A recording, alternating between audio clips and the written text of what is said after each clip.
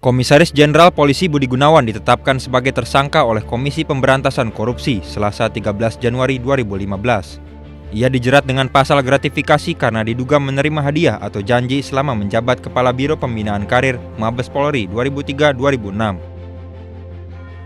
Dari laporan harta kekayaan pejabat negara di KPK pada 26 Juli 2013, harta Budi Gunawan diketahui mencapai 22,6 miliar rupiah.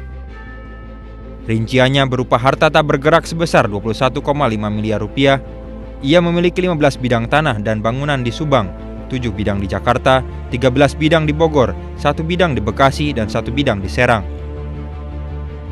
Calon tunggal Kapolri yang diajukan Presiden Joko Widodo itu juga melaporkan memiliki harta bergerak berupa mobil Nissan Juke dan Mitsubishi Pajero senilai 475 juta rupiah. Harta bergerak lain seperti logam mulia, batu mulia, barang seni, dan barang antik mencapai 214 juta rupiah. Sedangkan giro setara kas mencapai 384 juta rupiah dan 24 ribu dolar Amerika.